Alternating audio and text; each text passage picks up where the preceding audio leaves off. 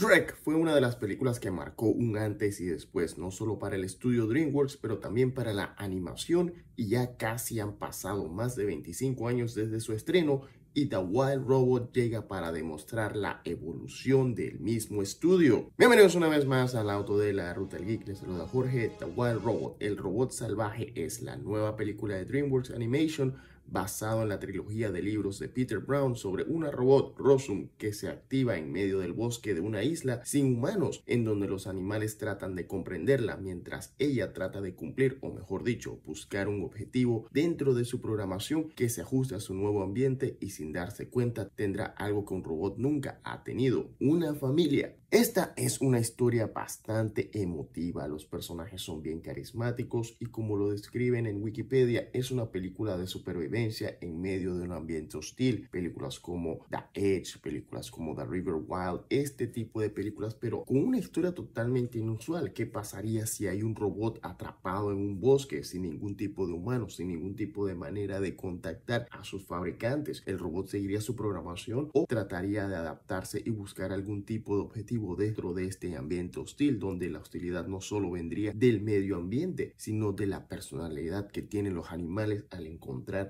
una criatura que ellos no saben qué es y el robot por no saber cuál es su objetivo tampoco sabe qué es ella, iniciando un nuevo viaje tanto para ella y para el resto de los animales. El primer acto de la película es más sobre la confusión y el miedo que tienen los animales hacia Ross y su nueva familia. Y luego está el medio ambiente en el segundo acto que cada vez es más hostil. El tercer acto es una batalla de naturaleza contra tecnología. Es muy similar a la batalla de Endor en Regreso del Jedi. El acto final es una representación de que la vida orgánica tiene mucho más valor y adaptabilidad que las inteligencias artificiales y seres mecánicos que han estado construyéndose. El viaje que hace Ross la lleva más allá de su programación, convirtiéndola en una protagonista con bastante emoción y sentimiento, y uno logra empatizar con ella porque nos identificamos con su búsqueda de propósito.